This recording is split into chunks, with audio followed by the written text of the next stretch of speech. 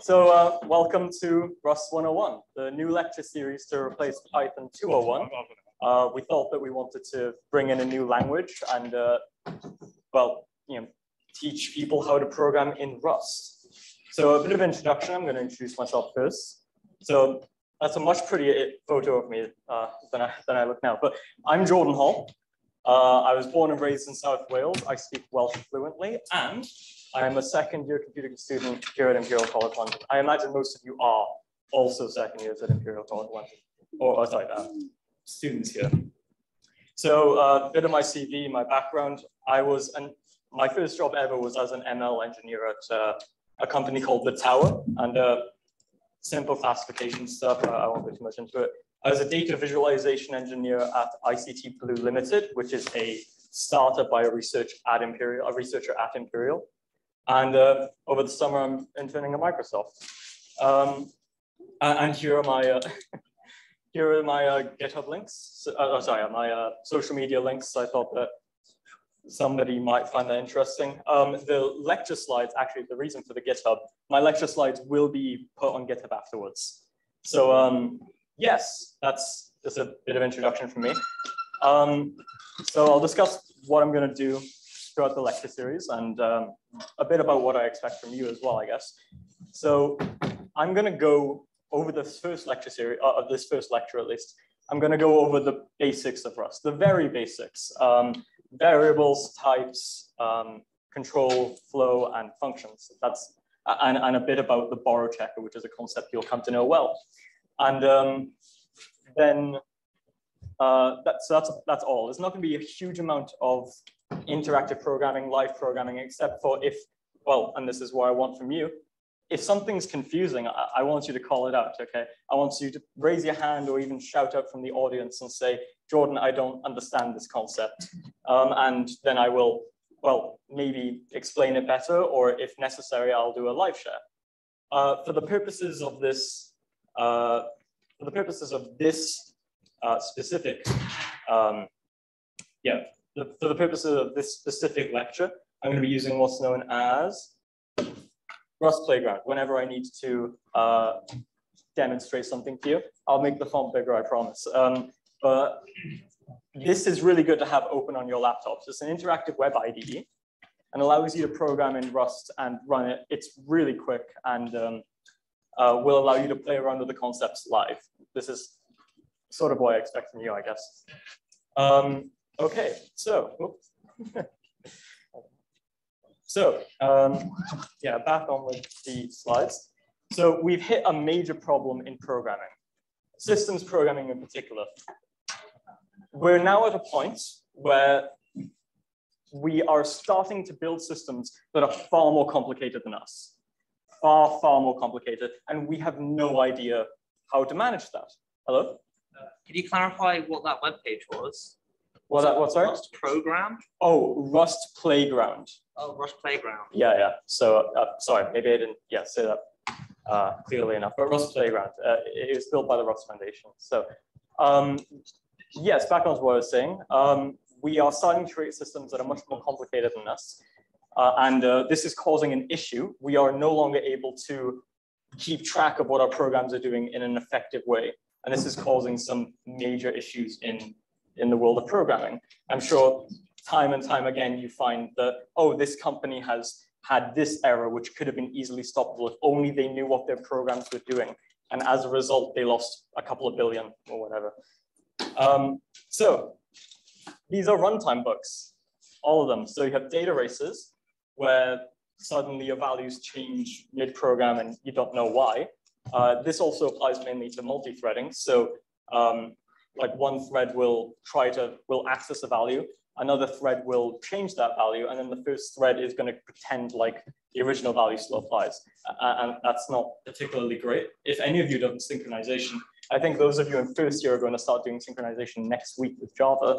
Uh, you know that um, that is a massive, massive problem. Uh, null pointer bugs. Uh, maybe when I was uh, a lesser Java programmer, um, when I was new to Java, this was like the main thing that I had issue with. Null pointers everywhere, and that was a major issue. Uh, some languages, much like Kotlin, they've they've helped with this massively by, by making the null type optional, I guess. Uh, segmentation faults. So when you try to dereference a, uh, when you try to dereference a reference to a bit of memory that your program does not own. Uh, for example, the, ref, uh, the uh, zero location of memory, which always like faults on x86 CPUs. Um, if you worked in C and C++, you know what I'm talking about. Um, those of you have probably done PinTOS last term, uh, if you're in year two, and that was probably the bug that I ran into the most. It was, uh, it took so much time. Uh, double frees, so you've allocated some memory onto the heap, and you free it somewhere, and then you free it somewhere again. It's quite self-explanatory, and that's a runtime error. Um, use after frees, so you free it, and then you try to access the value. Doesn't always cause a um, doesn't always cause a runtime error, but will definitely cause unpredictable behavior. Uh, and memory leaks. So you've allocated something and you haven't freed it. So as I say here, these bugs were manageable back when code only needed to run on one thread. Uh, it's pretty easy to keep track of what's going on. Uh, we left the impossible task of like mass parallelism to operating system writers, networking uh, developers, and um, uh, database systems developers. Um, other developers only had to wait until the next processor generation came around to double the speed of their CPU. Um, and well, double the speed of their code and CPU. So we have a problem now though. So what I just said was that you only had to wait around 18 months to get all of your code to run faster and it was almost magic. You place the CPU in a new motherboard, you run it and it's done. But that's not the case anymore. CPU speed is stagnating massively. It almost hasn't increased in the past 10 years from what I remember. Um, but the number of cores on a chip, that's growing massively. But we don't really know how to write these safe, secure, and reliable current code in a way that's manageable. Um, and I, will give some examples uh, in a bit, but um, that, that is a major problem because you're all going to be writing code. And the likeliness is when you're of age, when, when maybe you're 30, everything, or when we're, we're 30, everything is going to be run parallelized. And so you need to figure out how, we need to figure out how we need to, uh, how we can manage the increased complexity of that code. Um, so there are potential solutions. We have a runtime package with our code, the Java, Java, um, uh, sorry, the Java runtime environment is a beautiful piece of code. It is amazing. Um, it's so fast for what it is. And uh, honestly, the only issue I have with it is the fact that in order to garbage collect, in order to prevent those memory leaks and the lack of manual allocation of freeing, it has to do short pause. So it pauses it, pauses the runtime. Uh, your code is paused for maybe a couple of milliseconds. It frees everything that isn't connected to the stack anymore, and then your code can continue. Um, and that's not great for critical systems. If you are have, if you're writing maybe an autonomous car and it stops computing for a few seconds, you're going to be in trouble, and so that's a big issue. Uh, we can write static analyzers that check our code for common mistakes. Uh, Valgrind, if you are into C and C++, is a very good tool. It saved my butt quite a few times, but um, it's not the solution we're looking for. Uh, figuring out whether or not a piece of code will have the problems I just described is not actually um, is not actually computable. You, you can't compute it, it's undecidable. And so that will help with most things, but not everything that we need, especially in a language that allows you to do everything.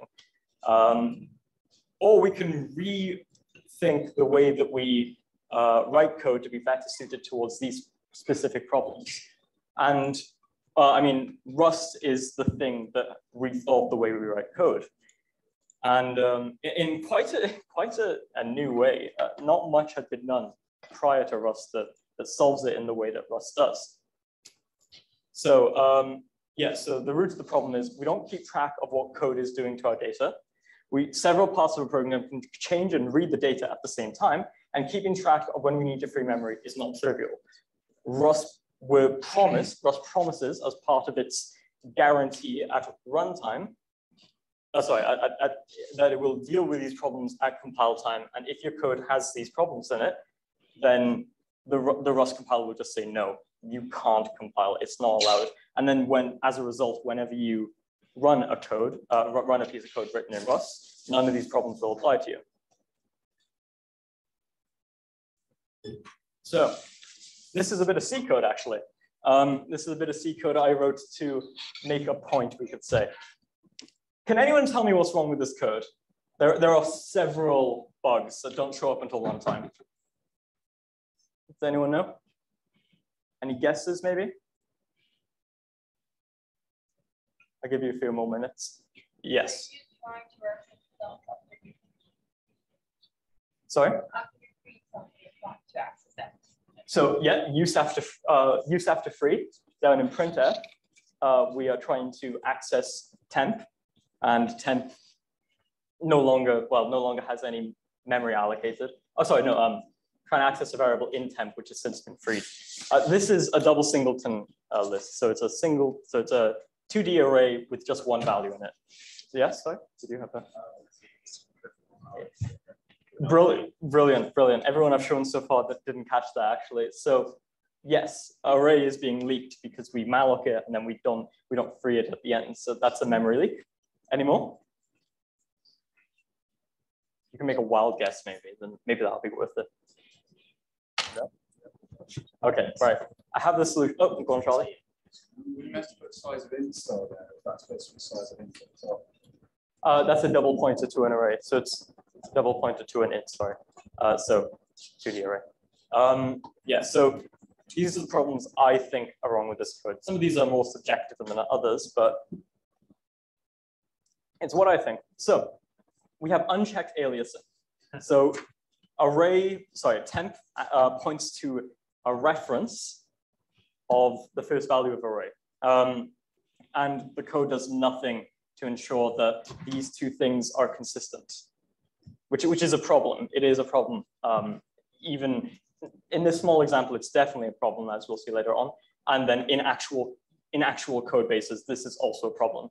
We have mutation. Mutation is only a problem when we have a reference to something else, because we've created a reference to an array, and at that point, we don't know what's going to happen to that array. Uh, sorry, what's going to happen to the values in that array.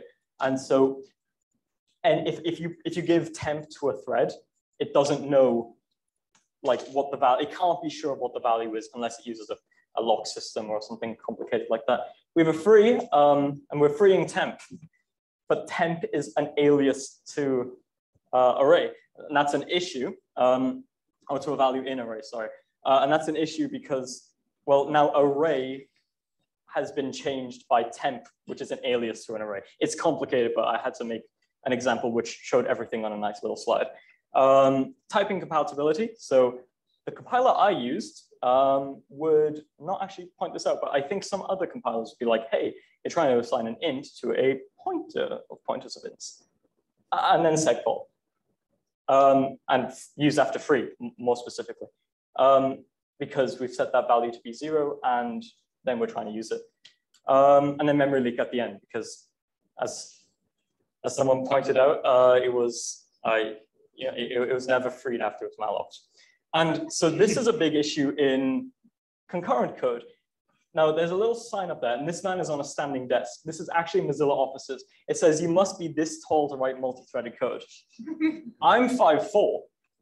That's, I, I, I couldn't see that sign if I was standing next to him. Like I wouldn't be able to read it. And it's because of this complexity. Uh, it's just, you can't keep track of what's going on. And it, it, it makes your code hard to maintain. An example of this, oh, sorry, uh, yeah.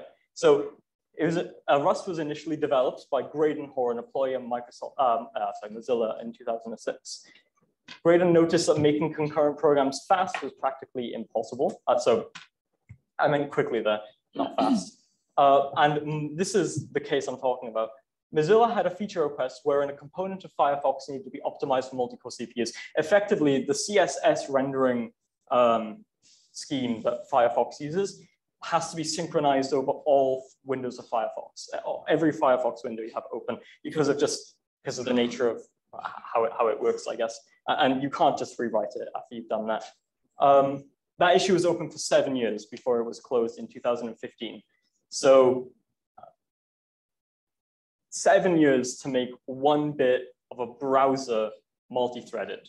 That doesn't seem like the type of development that we need to do nowadays. It, it's too slow. And things are getting fat, things are getting slower. Well, not getting slower, but they're stagnating in speed. You can't just wait for a better CPU to come out if your code is, is single threaded. And so this is what Rust is. Rust is a systems language with three major pillars. So performance, reliability, and productivity. Rust is blazingly fast and memory efficient with no runtime or garbage collector. It can power performance critical services, uh, such as like autonomous cars, perhaps, uh, run on embedded devices and easily integrate with other languages. Reliability, so Rust type system and own ownership model guarantee memory safety and thread safety. Guaranteed. If your code compiles, it has memory safety, so no frees, no frees, sorry, no double frees, no frees after use, no unchecked aliasing, no mut um, sorry, uh, incorrect mutation of aliases or anything like that. Um, and this is like, when I when I figured out that Rust said it can promise to do that, when I when I read that part, I didn't believe it. It was it was impossible to me that they could do that. I thought it was not possible, but they managed to do it. And productivity. So Rust is actually already mature, which is kind of nuts considering it's about seven years old. There exists loads of development tools, and they are actually incredibly easy to use. Cargo, Clippy, formats, uh, Crates.io, which is a good website uh, for libraries, Crates, we call them in Rust, I guess.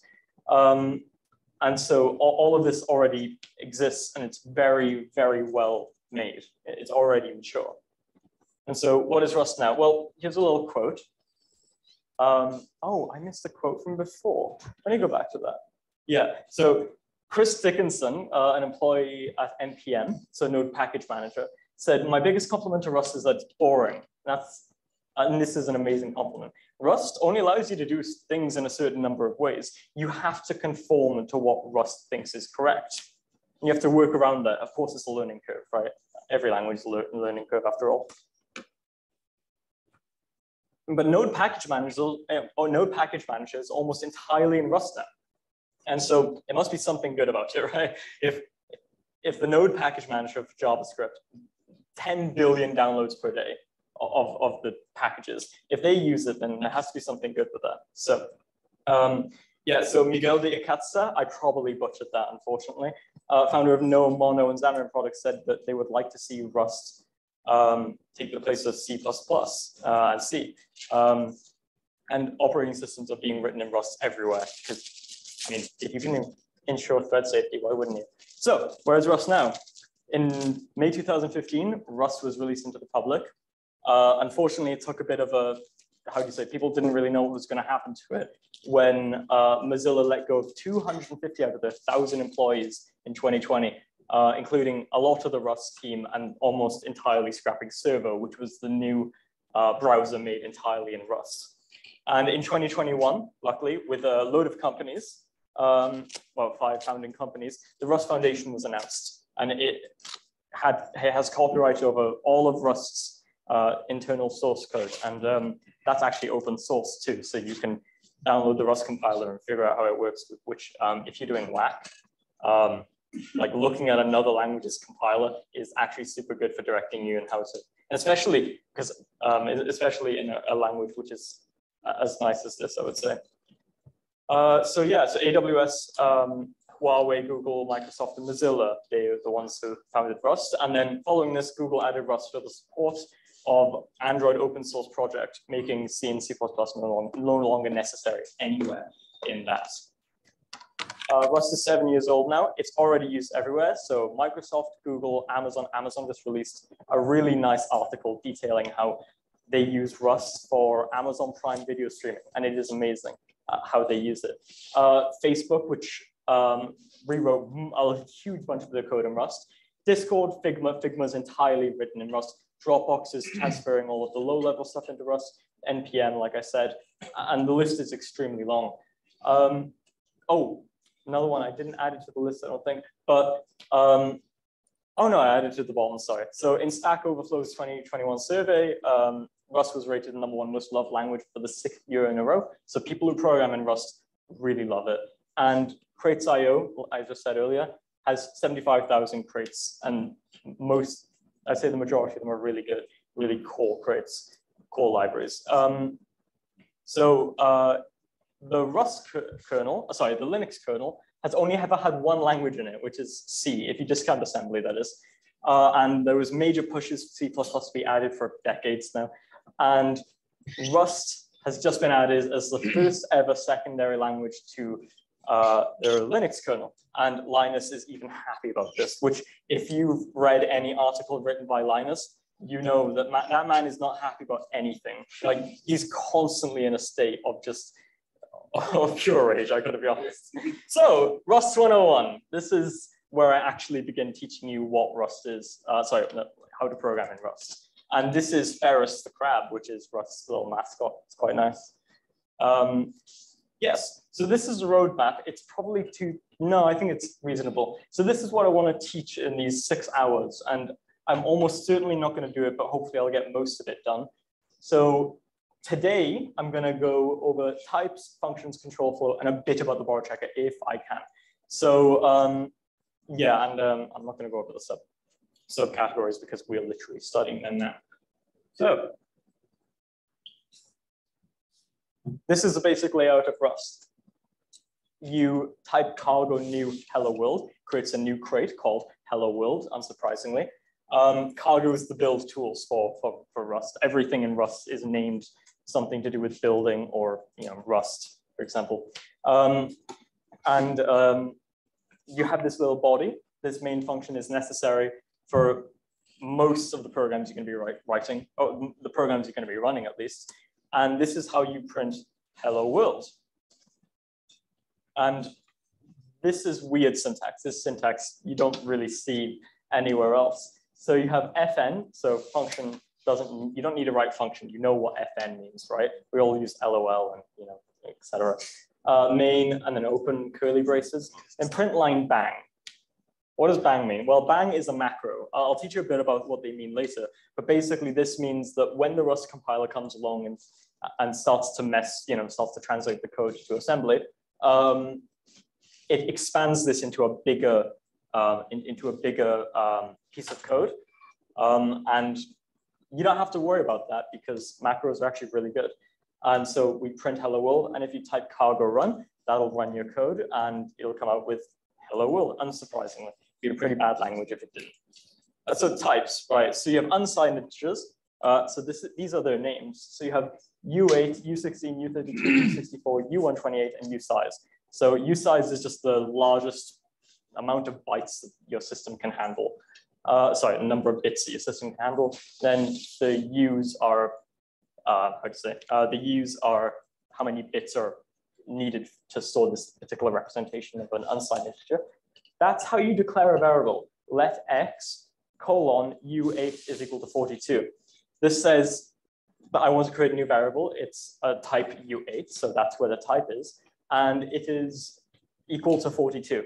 Now, if you got rid of the 42, your Rust program wouldn't compile.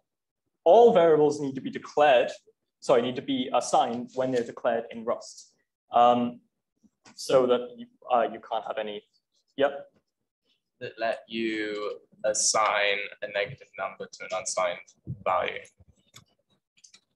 I've never tried it. It's not something that would, but this is a good, a good, re, good time to bust up, to bust up the uh, this. So uh, how do I make this bigger now? Oh, that's wonderful. Um, okay, so I say like let x u8 is equal to minus, just say 8, and then try to run that. What would happen? Would you, ah, no, sorry. yeah? Not allowing, um, like not allowing you to declare something without assigning it causes both problems. Like if you need to declare something outside a certain scope, but you don't know what it's supposed to be yet. Hmm. Oh, no, sorry, sorry. Um, sorry, no, I, I, I, got that wrong. You are correct. Yeah, absolutely. So you can declare uh, variables uh, before assigning them, but what you can't do is use them before assignment. So I can say, oh, and you also need the type to be there for, for sure. Uh, and then if I just say like, um, let y is equal to x plus 4, uh, and then try to compile this.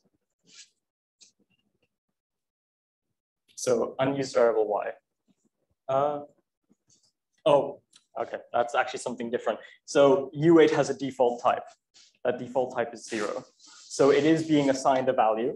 Um, in cases where you don't have a default value, um, Rust will freak out uh, and the compiler will tell you that you can't, can't run it. But everything needs to be assigned before it can be used. Um, but yeah, you're right. You don't have to declare things in the same scope you use them. Um, yes. Two questions. Uh-huh. Does the let allow for reassignment? Does the let allow for reassignment? What do you think? Is it, is it constant?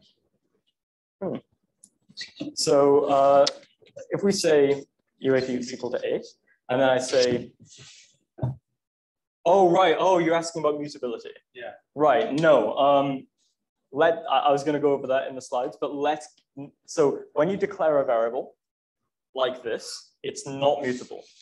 Uh, you can't reassign it. If I try to reassign it, so I say x is equal to four, why not? Uh, and then try running it. Then uh, value assigned to x is never used and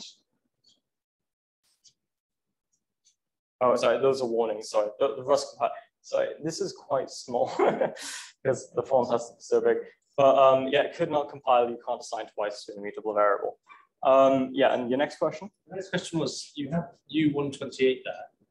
On a sixty-four bit machine which doesn't support them. Mm, yeah yeah so so um, uh, Rust compiles under LLVM uh, and uh, a backend. We will say that C++ uses um, the Clang compiler for um, uh, for C, and um, that does allow most systems that support multi uh, word uh, multi word arithmetic, uh, such as a, a 64 sorry a, a 64 bit machine to to work with these uh, with, with sizes of 128 bits, um, and um, yes, so so um, I, you can look up on Godbolt exactly how that works. Um, it's uh, it, it- it's quite interesting how how Rust deals with that. But yes, uh, you can do that. Um, any more questions? Can move on? Yeah.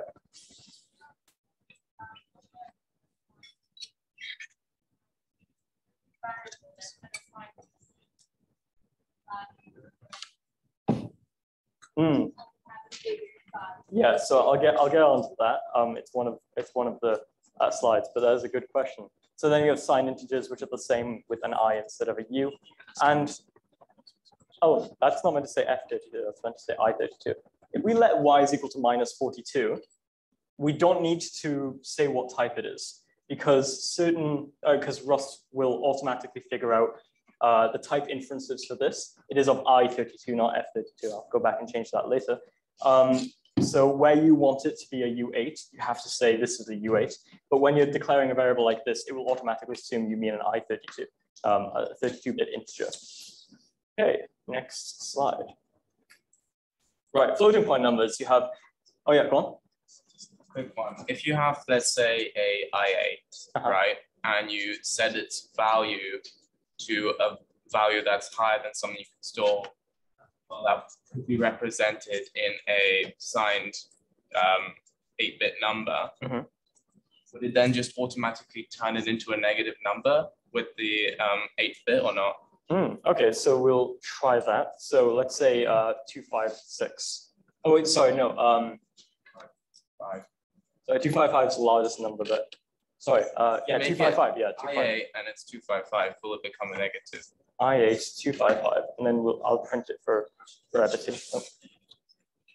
Uh, so print line, um, and this is how you include variables. I was going to get to it in a bit, but this is how you include variables in a print statement. Um, this is allowed because of the macro. This wouldn't be allowed without the macro, uh, the, the bang, let's say. And like, if we try to print x, then when we run,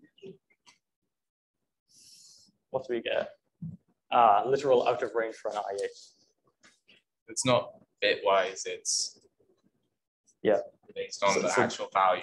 Yeah, this is a compile time feature, um, which which is quite nice. Yes. Why is the inferred uh, type for uh, 32 bits rather than the I size or U size, which is Sorry, could you say that again?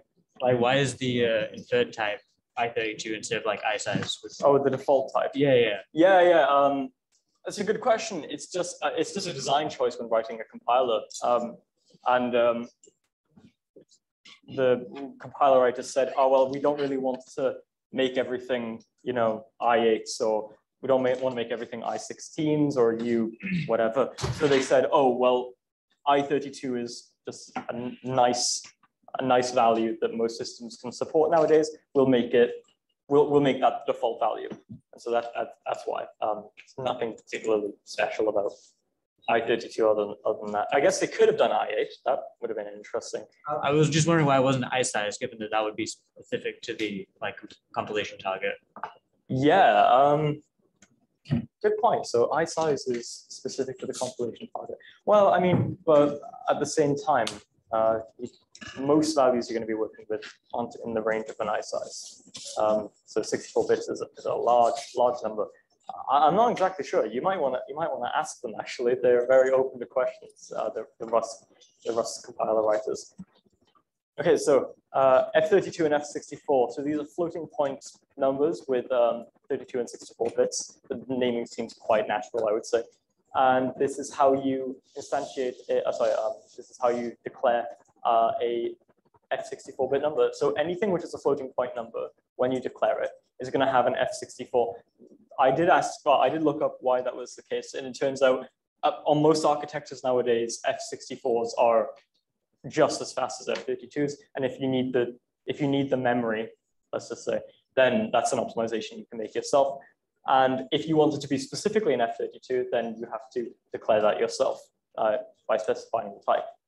So there are more types. So there are bool, string, and character. I haven't demonstrated string because it requires a bit of, bit of I, I don't want to introduce um, how that works until, until we have enough knowledge about how Rust works itself. So we can let b is equal to true, uh, that it knows that it's a, a Boolean. Let c is equal to q, and um, it knows it's a character. You don't need to specify the type. So type inference is pretty good.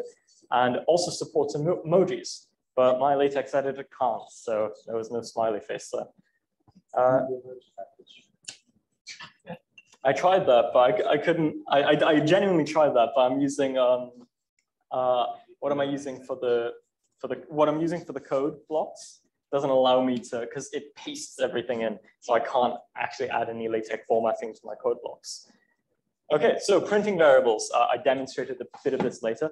Whenever you want a variable, you can just put those curly braces and um, you can add arguments to the curly braces. I will discuss them in a bit later.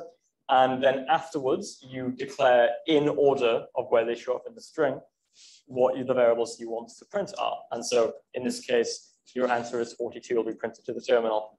Um, yeah. Uh, so um, basic arithmetic. Uh, I don't think I need to teach you what these means. Uh, these mean, but um, you have well, you can do any sort of addition you can, or any sort of comparison uh, or um, uh, operator you can do in most languages. It's nothing special about this. Um, and yeah, most well, for all of these, the types are inferred. So um, if you have a good like VS Code uh, plugin, it'll tell you what those types are just inline. It's very, very nice. Uh, it's called Rust Analyzer. And then W is equal to X plus Z. Why is, why is that an error? Why won't it let you compile if, if you do that? Yeah. Value Sorry? That is a Boolean value. Yeah, yeah. So, so it's, yeah, yeah. So, yeah, exactly. It's a it's incompatible types for addition is is what the Rust compiler will give you, and um, that's just a very basic introduction. You can't add a Boolean and uh, an integer. You can't add a Boolean and a character. You you can't add two types which add is not already defined together. And um, what's wrong with OO? Right. So variable redefinition which is a very nice feature in my opinion. Makes it can make your code much uh, much smaller in some cases uh, without needing the mutability because you don't always want your stuff to be mutable.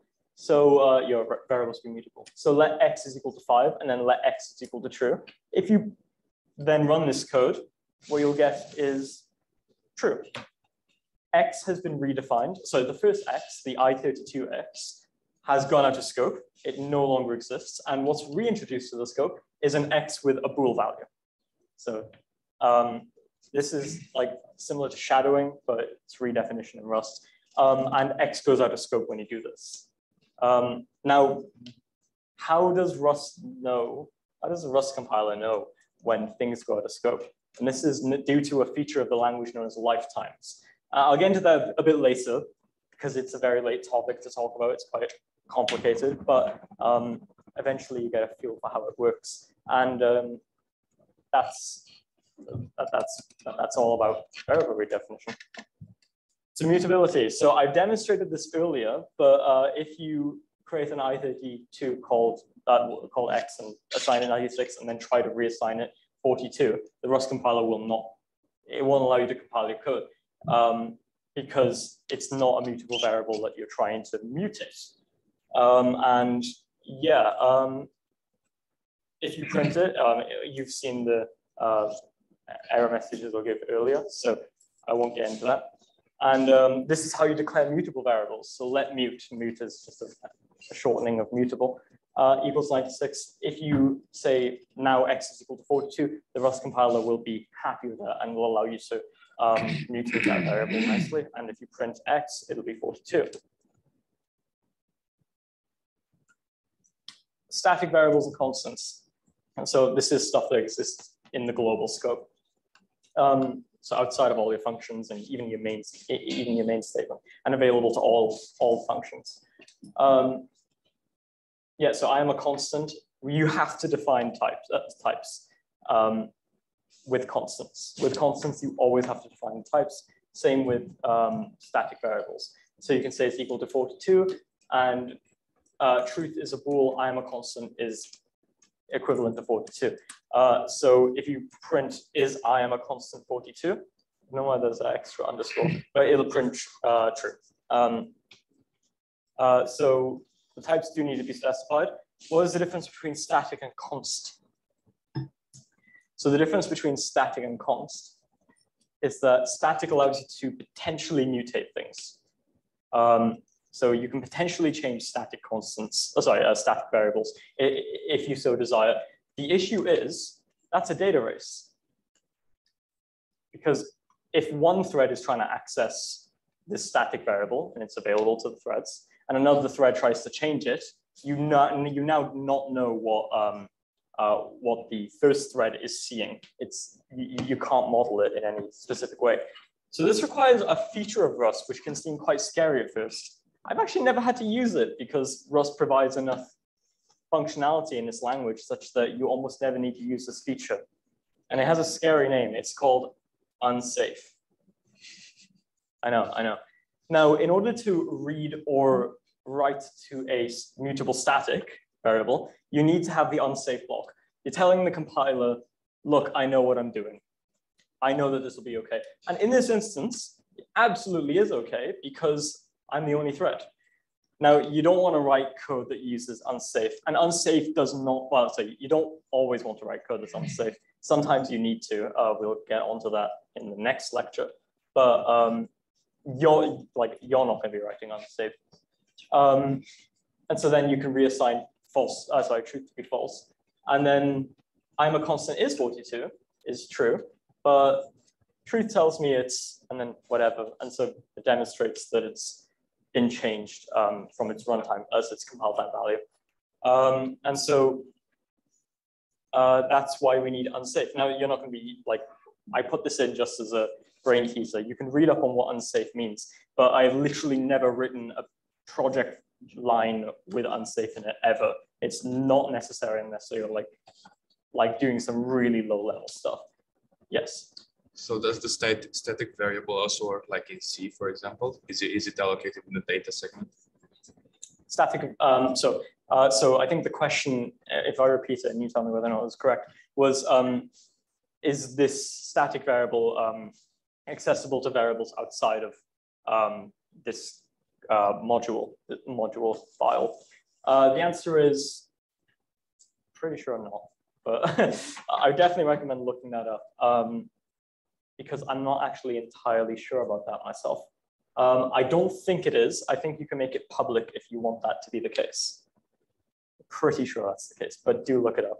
Uh, I'll get back to you um, uh, on that later after I make it to research it myself. Um, so typecasting, yeah, this is the, we had a question about this earlier. What happens if you try this code? So you create an x to u32, it's equal to 10. You create a y, it's equal to 8 u8. I wanted to point this out.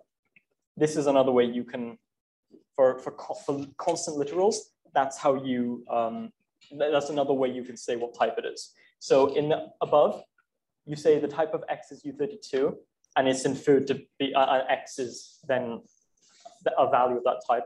And then it infers the type of y because you specify that uh, 8 is a u8 and not a you, you know, youth or not just a regular U32.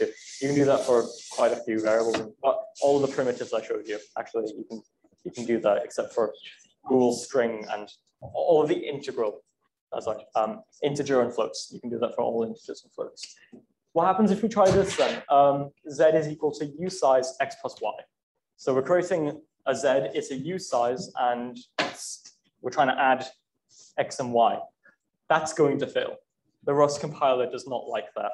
The Rust compiler is religious when it comes to this specific thing. Its type inference is really good, but doesn't like you casting things implicitly. Um, and uh, I think I showed you an example of that in the C code where that can sort of go wrong if you're not very careful with your code.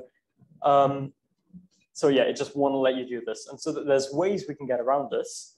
It's called the as keyword. So you can say that we are casting this explicitly. This is explicit casting. So same, same code as before, except Z is one way you can do it, which is to say Y is now equal to a U32. And then it allows you to add X and Y together. Oh, sorry, cast Y to a U32. And then cast the result of that to a U size. Or you could say X as U size plus Y as U size, and your result will be a U size. Um, there's no particular reason why Rust, like uh, apart from what I mentioned earlier, for, for safe types like this, um, there's no reason why it can't, it, it wouldn't be able to, if, if the compiler writer so desired, to have that allowed allowed to implicitly cast. But it's just a choice they've made, and we have to live with it. And this isn't a problem nearly as you might think it is uh, if you're careful with your code. Compound types. Um, and by that, I mean arrays and tuples. Um, so array, this is how you define an array. Um, you say let array is equal to, and then open braces, sorry, open brackets, uh, one, two, however many you want. Um, that, that second line is a variable redefinition. It's another way of saying, hey, make me, sorry, this is a way of saying, hey, make me a, an array of 15, size 15, and then put this value in all of those, in all of those slots. It's really nice. I wish we had this in like some other languages that I use, but we don't. Um, and then if you specify the type of that variable, uh, then the type of the array will be um, a, a U8 uh, or whatever size, uh, whatever type you specify. And then um, we can peek into that array. We can get a value from that array. Um, X is equal to array at 14. Uh, so the 14th position of the array. Rust has bounds checking on arrays and vectors. So I'll teach you a bit about vectors later, but they're very similar to arrays, um, except they can grow. That's pretty much all. Um, and um, you can, if I try to access the 15th, or like, sorry, um, if I access um, array at 15, then uh, it's going to cause a runtime crash, right? It's going to say, no, you can't do that undefined behavior. We don't know what's going on behind the scenes I'm not going to let you do it. So tuples, again, that's just any questions or arrays. There's usually a lot of like things that are a bit, but this is mostly similar to other languages we've seen before, apart from maybe its definitions. Tuple, um, is, and then you tuples is another type of compound types, um, except you can have multiple different uh, types inside of a tuple. So you can have one, true, and h, and that allows you to um, have a tuple with the first value of a size u32, oh sorry, i32. Second value is a type bool, and uh, third value is of a character. And um, i, b, and c, they're an i32, a boolean, and a character respectively. And Rust can do this type of Uh, so you don't need to specify types all the time, which is quite nice. Um, And then, let me see. So yeah, I, I've expanded out all the types. If you have a Rust, if you have a nice Rust plugin for your editor, then it, it'll tell you these uh, automatically. And um, so this is what the type of an array looks like. Maybe the tuple is pretty reasonable, right? You can see basically it's a one-to-one correspondence, but an array is of i32 5. So the second value is the size of the array, and the first value is what type is inside of it. That's just how you denote types of arrays. It's the only, it's the only way you can denote types of arrays. Um, yes, uh, so I don't think anyone's using this. No, great. Okay, so uh, now we have structs. So um, we have uh, a struct called user, and this is how you define a struct a type. And active is uh, a type bool, so that's the variable name, colon, and then its type. So active is of type bool, username is of type string uh, with a capital S, which is a different type from lower lowercase str. Uh, basically just denotes um, uh, uh, basically denotes that this is a an object. It's, not, it's it's a struct. String is a struct. Allows you to do some nice stuff that the smaller string can't let you do. Um, and then uh, sign in count is a U64. Okay, great. So um, then we have a function main. We say let Tony uh, is equal to user, active, true, always. Username is Tony, and then uh, his email is oh babies 42 at haskell.org. um, our, our, one of our most favored lectures, uh, lecturers in um, in computer science uh, is a first year Haskell lecturer known as uh, Tony Field, and so that's why I've added that in. So then you can just print those values, or you can reference. Sorry, this is how you create. Yeah, so that's it. That's how you create it. You need that semicolon at the end because this is actually an assignment. It's a statement. Uh, and then um, we can print the variables, uh, the, the, values in Tony by saying uh, username has logged in sign in count times, and then it'll print in, it'll, it'll, print, um, uh, what is it? Yeah, Tony has logged in 1,000, sorry, 12,345 times. Pretty simple stuff. Any questions on structs, actually? Yes. Um, why do you have the string from? Because like with the. Uh, ah, yeah, so, yeah, no, you're right. I did away, not, but you had a did not point out. So the question was, um, why do we have the string from? A good, there's, there's a good question. I, I did actually forget to forget to specify why that was. So the reason is the values in type of here, uh, sorry, inside of here, so Tony and oh baby, they're of type small string. Um, and if you want, well, uh, you don't always have to put in an object, but if you want to, if you want to put this particular instance into an object or into a struct, you have to say, hey, build me a string. So that's how you declare, um, this is how you declare, um, uh, what's the name? Uh, so that, that's how you say in the string uh, type, there is a function from which takes in a small string and uh, gives you a big string that will have the same value all the time. And so, yeah, so does that answer your question? Okay, great, cool. Any other questions about structs? Yes. Yeah, so I was wondering in languages like C, usually structs are size. Mhm. You seem to be using variable length strings. Ah, So I was wondering. Good question. yeah, so structs are of fixed size actually. And that is a big thing about, so you have to know the sizes of most things that compile time in Rust, or else you can't really use them without like runtime checking of what's going on. And that, that's, that's true, what you've said is true. But this is also fixed size. This is fixed size despite having strings in the struct. That's because um, strings are, string structs, they are just fixed size structs, much like anything, with a pointer to an allocated part of memory. And um, yeah, so um, with an allocated part of memory. And um, so it exists in the heap. And so even though the, the, the struct in the stack is fixed size, it is fixed size, um, the data can be variable. And so you can have Vecs in structs as well. Uh, your vectors, uh, which are growable arrays.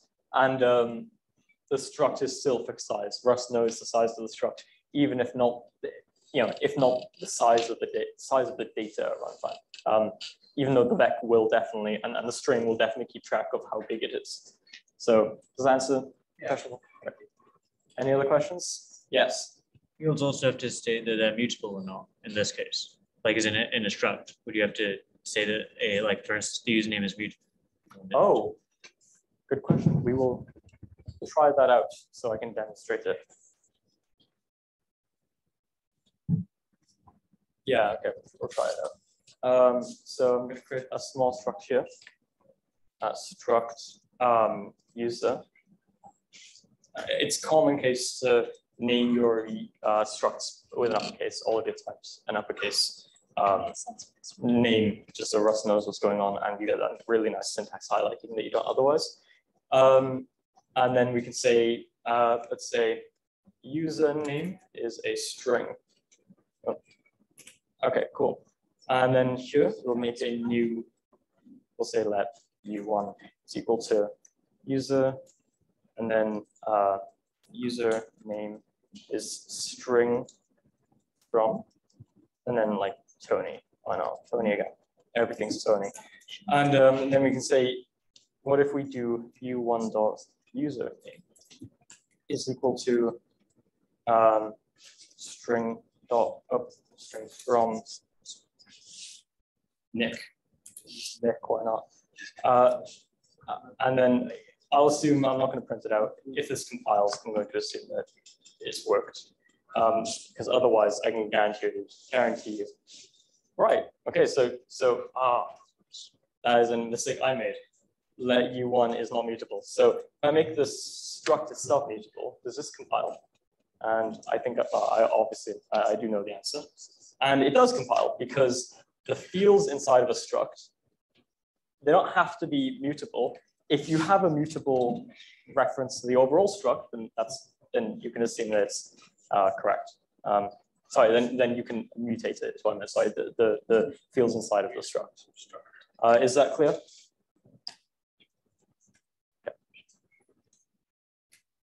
Uh, okay, so this is a different type of struct. The struct I, well, it's the same, but yeah, this is a different type of struct. So the last struct I showed you was what's known as a named struct.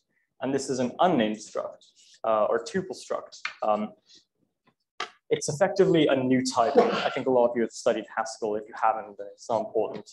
Uh, basically, you're saying RGB color takes in three unnamed U8s. And, and that's just the type of um, RGB color. Um, we can let color is equal to uh, RGB color, and then we can specify the values. So it's 183, 65, and 14. That is the RGB value of the Rust color, so like the color of Rust. Then we can print out these three variables um, in succession, and that gives you, um, uh, and then it'll print out 183, 65, 14. Yes. functional programs and sensibilities tell me that because you made it beautiful, shouldn't make it beautiful content? Hmm, yeah. Sorry. Is there a way to stop that mutation? Given parts of the program? No, you can make the record mutable or immutable.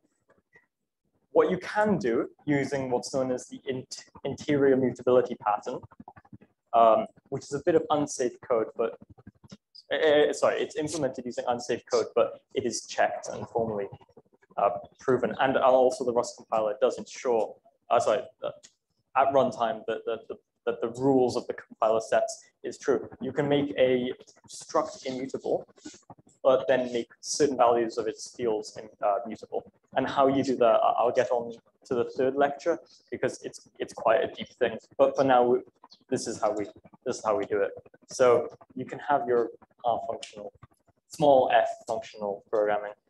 Uh, so yes, uh, structs, and then you have enums. So RGB. Uh, so this is an enum. Sorry, an enumerable. Uh, you've seen this in other languages, I imagine.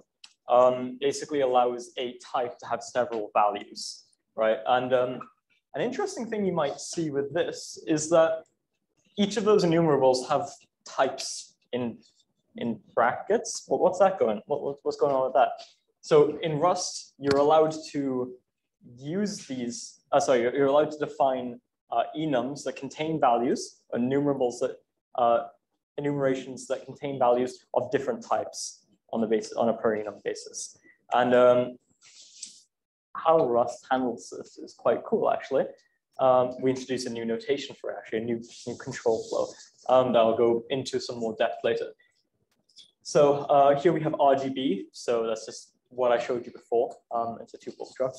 We have named, which is the name of the variable. And then um, we have hex RGB, where you just put in the number, we'll say. And you can assume that, uh, oh yeah, I should have called this like number RGB, but it's fine. Um, we create a color, uh, we create the instance of hex RGB. So it needs to have um, a U32 as its argument, or else it won't compile. And that is also the color of Rust again. And then in order to use this value, we can't just say, give me the first variable of the first variable in the uh, enumerations of, um, of color, because, um, well, Rust doesn't know what, and Rust can't know at compile, uh, sorry, at runtime, what the current value of color is. Is it a hex RGB, is it RGB, or is it named? And so the phrase color dot zero makes no sense. The way you can access them though, is with a match statement. And those of you who have done, so uh, those of you who have done functional programming, this probably looks a bit more familiar to you, uh, but um, you can think of it like a case statement that where um, for, for those of you who are more into C and C++, you can think of it as like a case statement where it allows you to pattern match. So that is, get the values out of this struct depending on what it is. So in this instance, where we have um, color is equal to color hex RGB, and then all of that, uh, it will print, well, it'll see that it's a hex RGB, and it knows that type. And then you give color, uh, sorry, uh, so you say match on if this is color hex RGB. And this hex RGB has a value inside of it. Um, and then print that value. And so because hex RGB can only have one value at, uh, in it at runtime, um, you can guarantee that that's correct. And then um, color named, um, sorry, uh, let's say we say color named rust, uh, which is the color. And we can say when you have a color that is of type named, uh, it will have a variable inside of it s, and then we print that in this case. Um, we print that value of s. And then color hex RGB. Um, in this case, I've done something funny with the angle braces in, um, oh, with, with the curly braces, sorry, in, um, in print line. So before you've just seen it like it is in the other two examples, this is where you can do formatting. Yes. Can you define functions for enums? Can you define functions for specific enums? So different enumerations of enums? Or is it I don't know. methods, maybe? Yeah. Oh, yes, you can. Uh, I'll get into that in the second lecture because it uh, Rust type system is quite different from other languages. It, um, it's quite unique, you would say. And so I, I want more time to really talk about that. And so, um, yeah, so in this case, I'm saying it's a hex number with the hash. Give it six uh, leading zeros if necessary. And, and the formatter will say, um, yeah, sure, I can do that. Um, and uh, X just says like, uh, also like, um, this, sorry, X says this is a um, uh, hexadecimal value. And so it prints out here 0xb7, you know, and if it was, not, is that clear to everyone? This is how you do enumerables or enumeration in Rust. You can't access the variables unless you know what size it is or what type it is. Yes. do enums come with like numbers, like like you know in C it defaults like zero, one, two. I think enums have a, I think enums have a method uh, that's generic across all enum called um, numerable. Let, let me look that up real quick because I think I can get to it fast. Um, find the, uh, okay.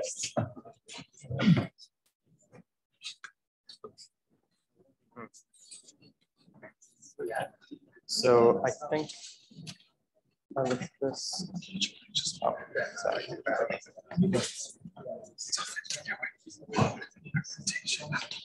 Ah. Okay. Hmm, okay, I, I, I'm not entirely sure at the moment. I'll get back to you on that. That's okay. Um, yeah, I'll, I'll get back to you on that. Um, I'm pretty sure you can though. It, I'm pretty sure it's something you can do, much like in C and C++, because it is useful. Um, okay, I think that is, yes, that's all I have for that section. So um, we'll take a small break now uh, for pizza. Uh, you to breathe. Yeah, no, it's fine. You can tap it. So yeah, take a small break for pizza. Um, my, our lovely DoCSoc defense officers, of which I am actually one, who will hand it out. First of all, a question was asked about uh, enums. Oh, let me.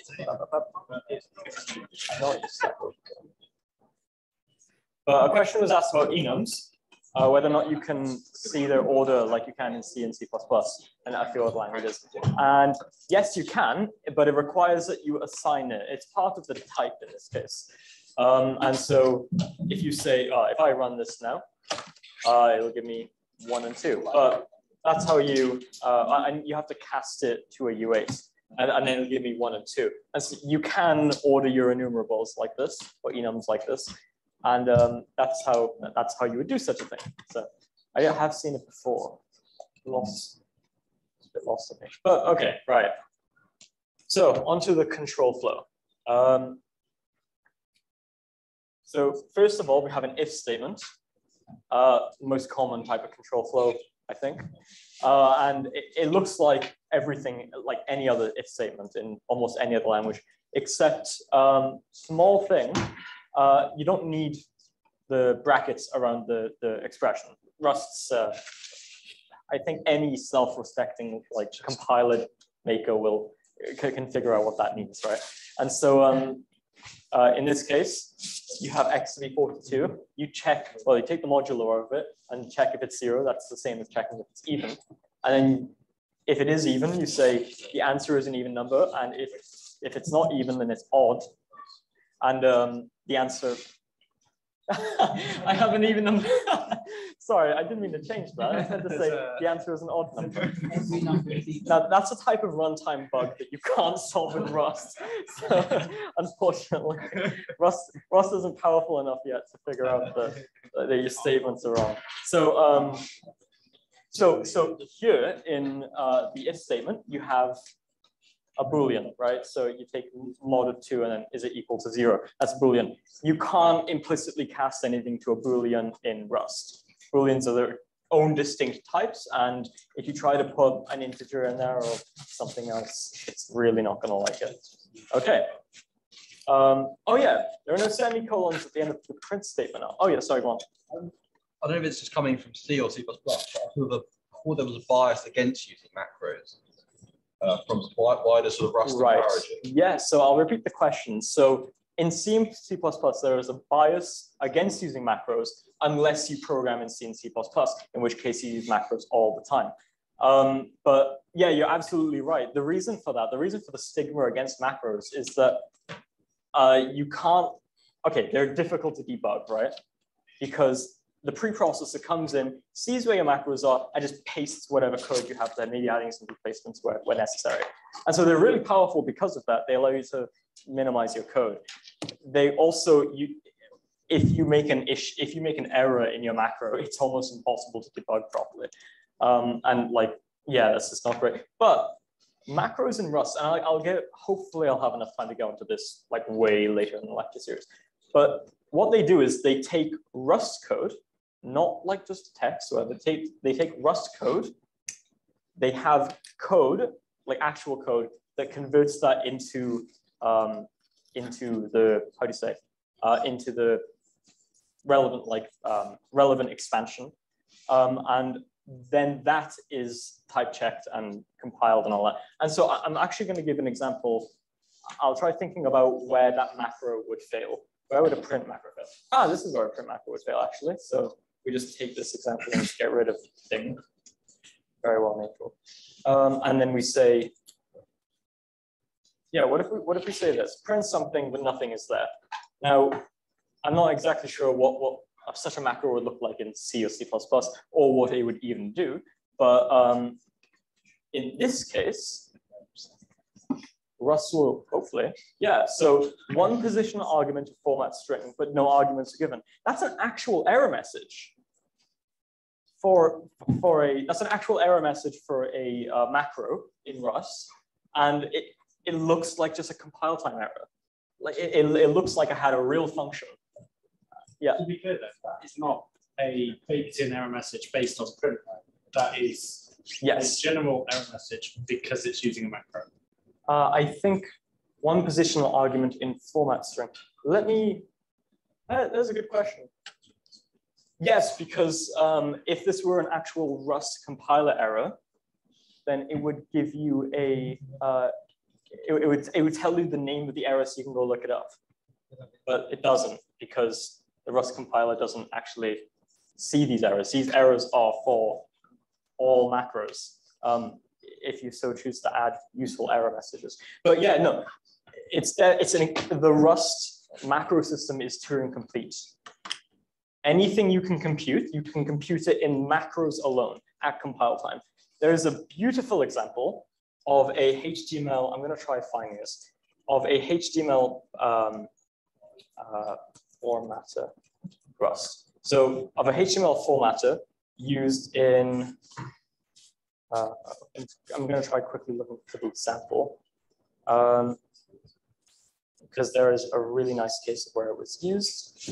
I'll try finding that later, but but there's you can make macros that take in like HTML code and certain variables and will just make a full HTML string uh, with with those values in it and um, uh, also have really nice error handling allows you to like, for example, you can you can interpret Java code. I've seen that one as well. You can interpret Java code in a macro. Uh, yeah. We're thinking of you, three other web frameworks. What's it called? YEW. YEW. Okay, I'm gonna try again just because I really want to see it. YEW um, sample. Okay. So.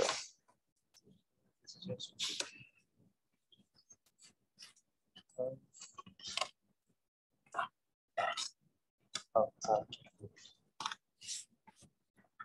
Okay, so is this one?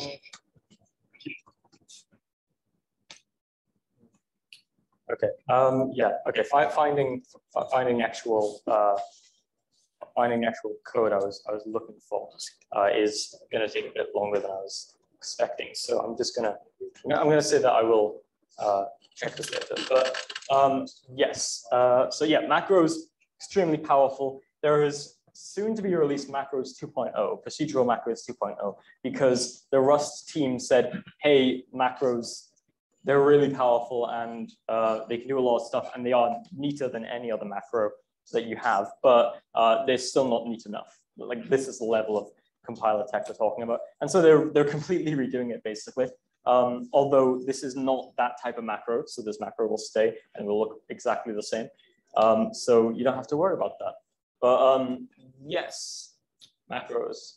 Uh, back to the control flow statements after that small wrap. Uh, so in a block statement, uh, the final semicolon is mm, optional. Um, and when you say, um, when you when you write that out, when, when you put the semi when you don't put the semicolon at the end, you're actually saying, hey, I'm returning this value. Um, like return this value. And um, when you put that semicolon at the end, it says go to the next statement. So in the final in the final value uh, in the final statement of this block, you actually don't need that semicolon. And this is what that allows you to do. So this looks pretty functional, I hope, um, which is quite nice. So you have x is equal to 42. And then you have this really weird thing where you say let y is equal to if x is even, x divided by 2, else um, three times, like make it three times x plus one. Uh, and so that allows you to change the definition of something. Um, uh, depending on a certain uh, given statement uh, or a condition. And so some questions that I, I wrote these out on purpose. So what happens if the arms of the expressions are of different types? The Rust compiler just won't allow you to compile it, right? Like that's the whole point of Rust. So if, for example, you say like 2F32, then Rust would not let you compile it um, uh, in the x divided by 2. What's the type of y? Well, type of y is what's the same type of the return statement in each of the brackets. So x is equal to 42, uh, which is an I32. Uh, x divided by 2, that's also a, uh, an I32. And then 3 times x plus 1, also an I32. y is of type I32. We can do this inference automatically. And what happens if we don't add a, se a second branch to the if statement? So now you have a variable which is defined but not necessarily, oh, sorry, it's defined but not necessarily assigned. Um, Rust just won't allow you to do that. It'll say you're missing a, a, a branch, you're missing an arm. Maybe maybe you're missing an else clause is what it will say more specifically. Um, yes. Sorry?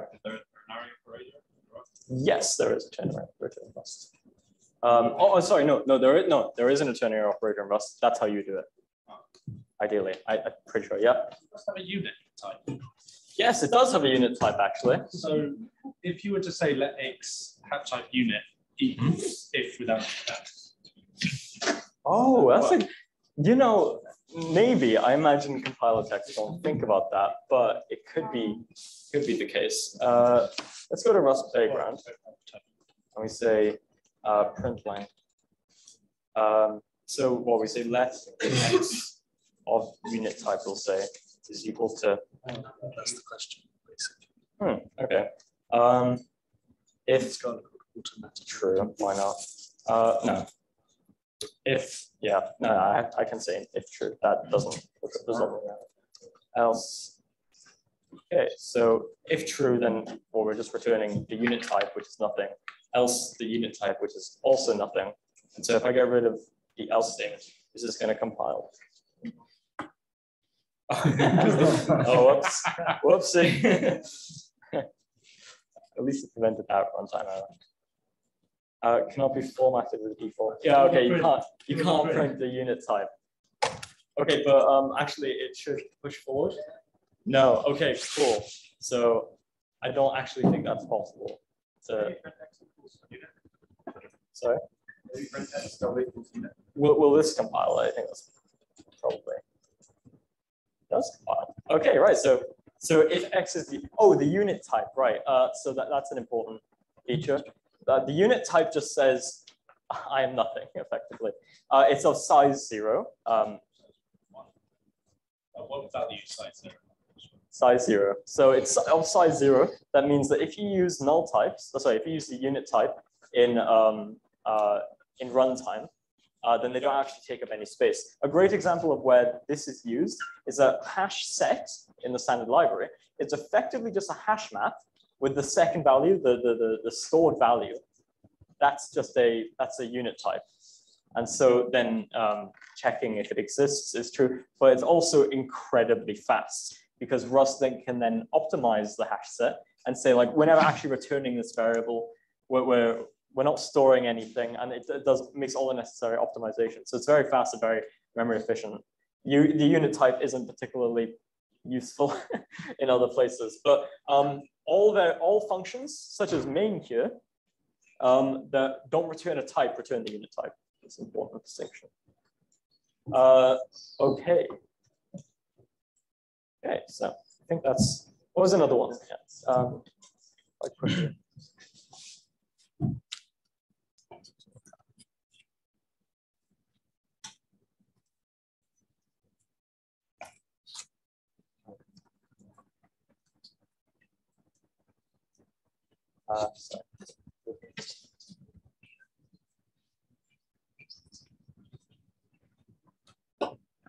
Okay, I, just, I just made sure because I wasn't super uh, sure, but the ternary operator does not exist in, in Rust. Um, yes, oh, did I skip past the few? Or, or was that exactly what I wanted? That's exactly what I wanted. Okay, cool. So we have a while loop. I mean, while loops aren't particularly particularly interesting. They're just while loops, and so um, they look the same. You have while with a condition, and then um, here I say if x is it's very similar to the uh, if statement I just showed. If x divided by if x is even, divide x by two, else uh, times x by three and add one. And then the biggest number is the biggest num dot max x. So it's just saying what's the maximum between me and a different number of the same type. And um, uh, I have a little question. Please come to me very quietly after the lecture if you can prove it. But prove or disprove that for all x in the natural numbers, this program halts.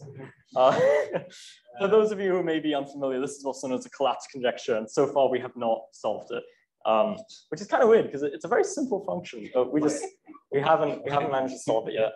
Um, I promise you the biggest num when x is 42 is 64. Oh, assert equals macros. Yes, it's the first time I think we've seen them maybe.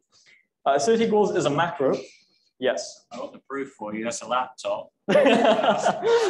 So within a couple thousand years, that program will have definitely halted. Can you prove that? Yes. sure. Uh, for all the numbers. Anyway, um, so assert equals just says, hey, give me two arguments of the same type. Are they equal? It's very simple. And if um, if that condition is not met, then um, it'll throw a runtime error. Um, uh, I think it's pretty standard to have that. Next one. Uh, so we have a loop statement. So we, okay, 50, so that's fine. Um, so we say um, a loop statement is just an infinite loop unless you break out of it um, using the break statement, which I will show you shortly. We print line, are we done yet? And the answer is no, we're never done until you hit Control C on your on your keyboard. That loop will just print forever, no termination, nada. Okay, this is a more, oh yeah, go on. Why is there no semicolon after? Oh, yeah, so um, that is actually a good question. Uh, uh, it'll be answered on the next slide, right? I, I, I promise you that. So loops can return values, much like, and that's why, that's why. Um, I haven't used this a huge amount. Um, I, have, I have actually used it in, in uh, the project I'm working on now. Usually you don't have something, the reason why this looks so complex is because I haven't actually introduced to you uh, something uh, that needs to be that, that, that, needs to be shown yet to make code like this simpler. Code doesn't always look this verbose in Rust. Uh, it's just that we don't know enough yet. Okay, so um, this is a loop. Uh, if counter is equal to 10, uh, n, then what we do is we break with the value of temp. And the value of temp is then assigned to fact. So, so you have that. Um, that's how you can break and then assign uh, a value to, the, to, to what you return on. This doesn't actually occur for while statements. While statements don't have that because um, you can. It's it's difficult to say. I mean, it, it, would look really ugly. If you think this looks ugly, it would look really ugly if you had while, and then at the end of each while, you have to reassign what your return value would be. Yes. Sorry, I want to note here. Oh, okay. Um, Rust doesn't have a meeting relationship to it. So you, it's like, oh, right, so it has functions like this. But actually, because it has loop, we can actually represent Oh, those yeah. functions just using loop. So, so um, in a project I'm working on, I have a uh, tree of hash maps, right? Um, and uh, the hash maps all point upwards, and you want to traverse upwards. Um, and what I did was I used a loop statement for exactly that reason, because Rust doesn't have tail call optimization yet. LLVM, which is Rust's backend, as I've mentioned previously, does support tail call optimization, but um, there's something to do with the way that Rust interacts with it, uh, with the way that the code is generated that prevents tail call optimization. And I've tried, I've really, really tried. I cannot get tail call optimization to work. I'll explain a bit about what that means in a bit, for those of you who are unfamiliar because we go into functions soon. So um, yes, and this, this computes factorial in a tail recursive way. There is very clearly something you can do that would a for loop would, would be better suited. Uh, and so I do show that, but this is how you do it. And um, yes, that is uh, how you use that. Um, I'd say, I'd say that's enough about, uh, uh, loop's clear. Oh, oh, sorry, yes, sorry, I, I meant to come back here. This loop just a true. A loop is a while true, yeah, yeah, definitely, definitely. Um, it's not a loop while, which exists in some, or do while, And does the compiler catch like if- if it's just not going to tell it? No, Okay, so that's one thing Rust. no, because because then you could, and then you could solve the halting problem. Oh. if, if if Rust was able to analyze a loop and say this halts, you could give it you could give it the set of all pro- um, yeah you give you could give it itself and then declare whether or not Subject of equality results. yes I assume that only works for loop and not while. uh, yeah I, I just declared that like uh, sorry I just said uh, a moment ago while loops don't support returning values because it would look ugly and this is good enough um, anyway okay next one oh any more questions about that I'll move on. yeah So the only way to get out of a loop is by break, right? one way to get out of a loop Is it the only way? Sure. Oh, um, yeah, the only way to get out of a loop statement is via break or return, yes. Then couldn't the compile just examine if there's a break inside the loop? Yeah, yeah, but like whether or not the condition in, so let's say we have this statement, if counter is equal to n. Oh, Okay, yeah. So there is a likelihood that the Rust, comp- the Rust compiler probably um, uh, finds a loop invariant with this, uh, and then um, uh, and then performs a um, or, or um, a sorry a certain type of optimization that means that this loop probably isn't actually running compile time at all. Quite surprising. Yes. No, no, no. I, I, so I showed you a example just now. So this doesn't have a break inside the loop, and the compiler, the compiler wants to have wants you to have loops if you wanted. For example, like otherwise you couldn't you couldn't write a shell script in it.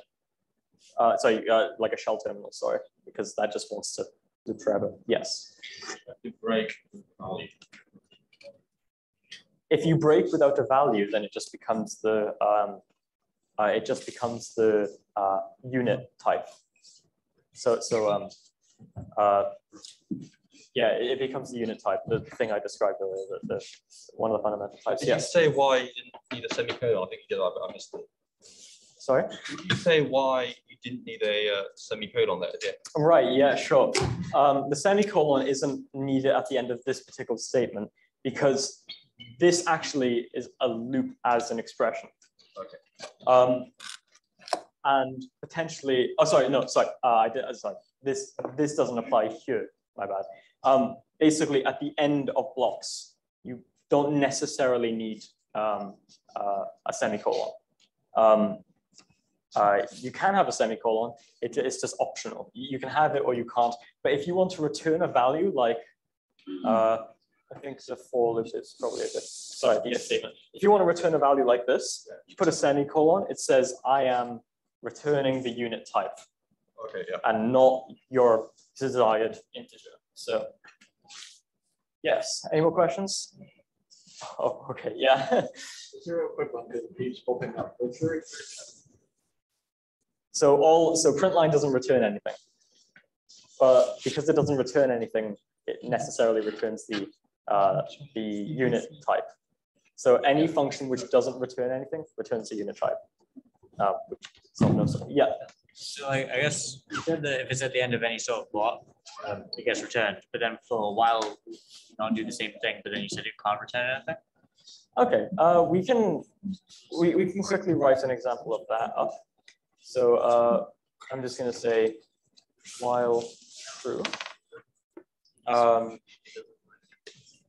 five, um, so unless my understanding is incorrect.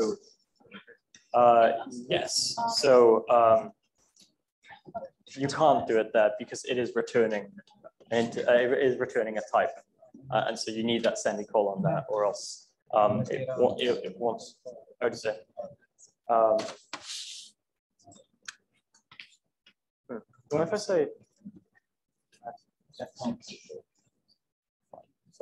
I'm just trying stuff out to get a better understanding of how this particular aspect works.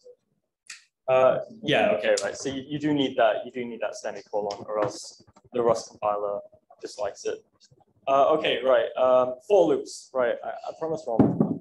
Uh, so for i in so it's an in usage, um, and then one dot dot equals 15. This means the inclusive range of one and 15. So all the numbers from one up to 15. This is implementation of FizzBuzz, uh, popular like programming problem you can you can do. Uh, it can be given at interviews, and um, we're saying um, how do you say? Uh, so the for loop is the more common part. You can't return values from a for loop, uh, but um, what you can do is um, so so this syntax is weird actually. The syntax is weird if you're a C or C++ developer uh, because C and C++ style loops don't exist. They don't, the for loops don't exist where you have like, you declare your type, or you declare your counter maybe, and then you um, uh, check to see if that uh, counter is like, if you need to terminate yet, and then you uh, increment the counter or whatever. That does, that doesn't exist in Rust. Um, uh, because of mutability, I think, although I'm not sure. But i is actually not mutated, it's redefined so, uh, in each of these instances. And so, um, yeah, it's just a design choice they made. I've never had a time where I've been like, man, I really wish I had a C++ loops because I'll get into a bit more later, but this is what this is using a language concept known as iterators, which are like, it's a functional, although has slipped into other languages recently. Um, it's a functional idea, but about how you traverse a data structure, we'll say. But for now, we're saying this is a range of 1 to 15. Uh, add the question. I think the implementation of FizzBuzz isn't completely correct. All right, okay. If we if it's either fizz or buzz, you don't print the actual number, right? Sorry? You're always printing the number. Isn't the idea of FizzBuzz is that if it's either modulo three or five, you don't print the actual number. Oh, fair enough. Yeah, I, I guess that's a, an issue with your interpretation of the FizzBuzz problem. But uh, I guess for readability, I always wanted to print out the, the number itself. Yeah, fair enough. I thought there was an actual problem with my logic, and I was like, man, I'm never getting a job ever again after this. Uh, another question? I saw a hand up somewhere, maybe? No? No? Okay, cool. All right, next slide. Um, yes. Uh, so the for loop continued. So this is using that iterator stuff. I, I, promise I will go into iterators. They're a very important part of the language. But you can say a for loop over the values of an array, or, or um, actually most things which allow you to turn them into iterators. And so you say for i in array.into iter, and you're iterating over the values of the of the uh, of the iterator. Um, and then uh, this is just a summation problem. It's not that, not that smart. Um, yes. So is there a better way to do this again? Yeah, I was talking about this. Yeah, I was talking about it. So um, you can use iterator functions. I highly suggest you look up what iterators are um, to just do a left fold or right fold or reduce. Uh, that, would, that would give you a sum. I think this, no, I, I, I won't say there's a sum for iterators yet. Yeah be a better use of iter here since we're not mutating array. Um, yes, but then I'd have to talk about copy semantics, and I don't want to do that. That's why I picked that up. Um, we'll get into like, yeah, so there exists another function very similar called iter. And what iter does is that it doesn't actually take the values, it takes references to those values. Uh, but I, I want to explain what references are um, in, in proper, in enough time, because they're different in Rust to what they are in like pointers and references in C and C++ in order to give you the guarantees that, that Rust provides you. Um, yeah, so uh, yeah, I'll, I'll, get onto that, I promise. Um, yes, so um, this is a match statement. You've seen a match statement for deconstructing an enum, um, but this is how you can pattern match amongst uh, values. Um, so we say you know, age is equal to 42. If age is between 0 and 17, uh, inclusively, then this person can't buy alcohol. If it's greater than 120 or greater than or equal to 120, that's how you do that notation. So anything larger than it. Are you sure you have the right age? And then underscore means like, it's called the eh operator in a lot of languages. It means otherwise. So, uh, well, in this case, it means, sorry, in this case, it means um, I don't care what the value is. If you haven't matched the top two, like don't worry about it. And then you say this person can buy alcohol. Um, alternatively, um, I could use a named variable. So unnamed variables aren't really, um, how do you say, used. You can't say like, you know, print, you can't print the value of the age that's matched there. Um, uh, yeah, so you, you can't print that value because underscore doesn't, doesn't allow you to do that. But what you, what you could do is say x at the bottom, so that's a named variable, it's a proper variable. And then you could say print out that, that variable. So like the person is of X age and can buy alcohol. Um, yeah. Uh, if you don't meet all the cases, Rust will scream at you. That's lovely. I love that. Um, because I often do. I'll have an enum, and this is different from a um, this is different from uh, a switch statement in, in other languages where um, you can do whatever you want. You can have a default or maybe not, I think. But um, I'm not super versed in C++ and C. But um, yeah, if you don't if you don't meet all the possible values, Rust will scream at you. Um, yes. And what happens if you put floating point numbers in it? So there are issues with floating point numbers to do with precision. And so if you want to match over them, you, you can't do that because, oh, sorry, you, can't have them in the, you, you can match over them. You can only talk about ranges. You can't talk about like actual literal values. You can't say match and then in one arm have uh, 3.14159265434. You know, you can't have that. It's just, you have to have like ranges or any sort of values. Um, yes, we're getting, oh, oh, sure, sure. Oh, right, yeah, sorry. Um, yes, and so uh, this is another way. Oh, yes. Will the floating point thing be checked by the compiler or Sorry? is not recommended? Yeah, no, no, float, floating points. So yeah, the compiler will scream at you if you try to check, if you try to check floating point numbers. It's quite magical in my opinion. But anyway, um, yeah, no, it has to be integral types. So it has to be predefined values, continuous values, and values. Anyway. So um, at that point, you just want to use this. Um, I've done it in a slightly different way, but also I've added a an, an assignment operator.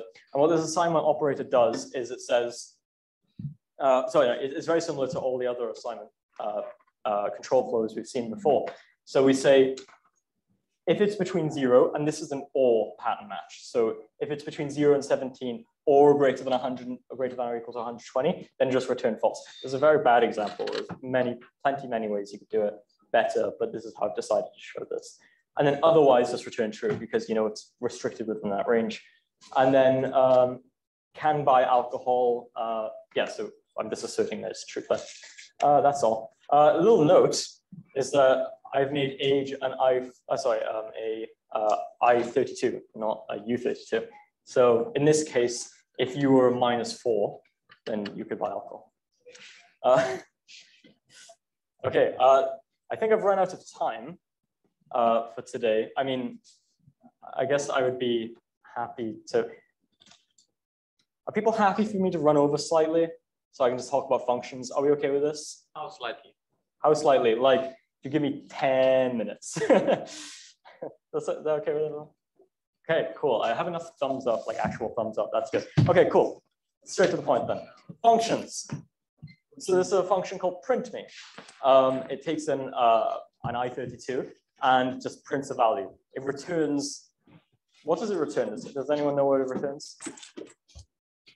The unit type, yeah, exactly, the unit type. Um, and then, uh, yeah, that, that prints the value, prints the value of x, and believe me, this works. What are the types of this? So the first parameter is i32, and it returns the unit type. We can have things that return other values, and this is that notation. So you see that like forward, like that arrow. That arrow means we're returning this type. And so much like other control flow statements, you can return x times y in this case, just by just by not having a semicolon. You don't need a return statement um, always. You do have the return statement, but you don't always need it, is, is my point, um, in cases like this. And yep, so Okay, recursive functions. This is fun because we get to use pattern matching now. Oh, so n is a u32 and returns a u. Sorry, fib is a 30 uh, is a function takes an n32 and returns a u n uh, u32. I'm trying to go fast and it's not working. So we match over n. If n is zero or one, return n. It, it's one of the definitions of the Fibonacci sequence. You can start at one or, or just zero and one. And then otherwise we, we take fib of n minus one and n minus two, clearly a recursive function. Um, uh, and yeah, so the 10th Fibonacci number is 55. I think you can verify that if you want. Um, much like any other, if you um, uh, much like most other control flow statements that are assignments, um, returnments, uh, sorry, returns, uh, they must be of the same type. Uh, they must be of the same type, um, or else the compiler will scream at you. You're, and you have to you have to return somewhere. You can't you can't let's just say like if x sorry if uh, yeah you have to return on every possible uh, exit branch. Okay, so higher order functions. So this is taking functions as functions and uh, sorry uh, functions that take in functions, and so we have array.map which is just taking, what does is apply a function to every single value uh, in the array and then returns that array. And so double takes a number times it by, times it by two and then uh, returns that. And so that, that, that array when transformed becomes this. Um, but yeah, there are some issues.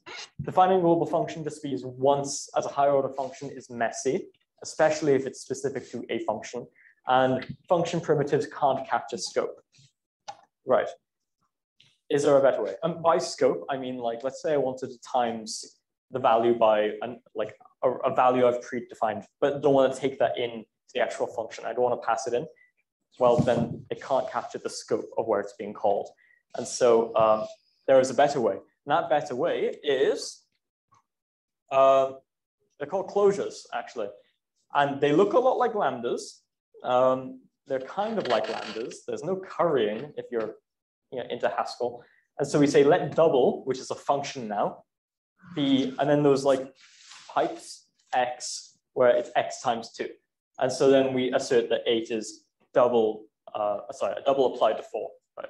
Uh, the types are double, so it notices here, oh, this is quite interesting. If I take out the use, uh, the assert equal, Rust doesn't know what types it is. It infers the type from how it is used which, which is actually it, it, means you don't need all of the, like all the messy like you know type uh, uh, sorry type um, uh, uh, you don't need to declare the types yes I mean, if you use it in multiple locations, but you use it differently, it infers a different type each time, or does mm. it not like that? Good question. Uh, so the question is, if you use it multiple different types at times with different types, uh, does it infer that, or does it complain? And the answer is the Rust compiler complains. It doesn't like to do anything for you, right? Because because if you needed if you needed to have it for different types, then actually have to make several different variables. Uh, but it needs to know the types at runtime, and so it'll just complain instead. Right. Uh, next one. Oh yeah, so the types uh, returns uh, i32 takes in an i32. Very simple. Now this is this is the best part, right? So you have a number n that you want to multiply all of the values in this uh, array by, and then you don't want to, uh, uh sorry, uh, and then you have this array, and it's the array, and then you can say array dot array.map, and then include a, include a closure inline. And that allows you to make some really elegant, you use closures like this in Rust all the time. It, they're so, they're a very elegant way of like having lambdas uh, in Rust. Um, and so yeah, and so you might notice n exists in here. It takes in the scope of the outside variable. So it, it knows that n is equal to two. And so when you times, so when you use the scope, um, it, it times it by n. And here you just get the same answer, but that's it. But there's a problem with functions. And this is actually, this is pretty much where I end um, because then I can talk about things next time. So we'll have like that user struct that I was talking about earlier, but for brevity, you can see it's all at the bottom. I can't include it in the, in the slide. So you have the user stru uh, struct, and then you have a function called sign in user that takes a mutable user and take and gives out a user. And then you say user.sign in count plus equals one, and then user.active is equal to true, and then you return the user. And so then Tony is equal to you know, user as before, but he's not active this time. You can say let Tony is equal to sign in user Tony, and you assert uh, that like that's his signing count, which has been uh, increased by one, and you assert that he is active. That's very messy. You're redefining a variable. You can redefine it in the same name, but you don't necessarily want to do that. And I think there is a, I think the next slide is a, yeah, so if you wanted to say what's the length of Tony's username, which is, it's very small, it's four. So, um, so you have this function, it takes user.username, which was a string, and we take that length, and then gives out a size, right? You have to give out a size at this point. And so it takes the length and it computes the length correctly, except this code doesn't compile. Doesn't compile. Hmm. That's weird, isn't it? You, know, you wouldn't expect that, but the code doesn't compile. And so you say let L is equal to length of username Tony, and then you can say assert equals for one, correct. Uh, that, that, that, there's no problem with that. But you assert that Tony is not active.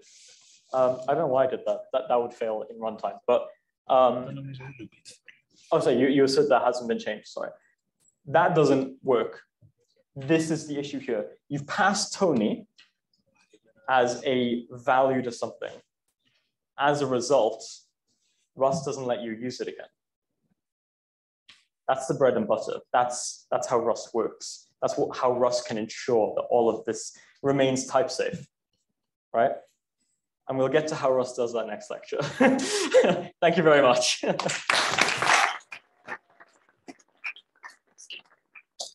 question?